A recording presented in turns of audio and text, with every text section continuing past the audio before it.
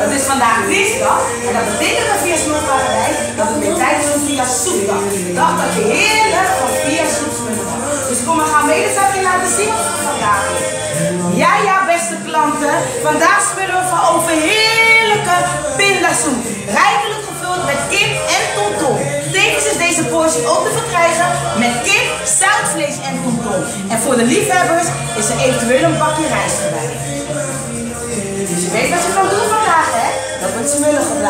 Bye bye.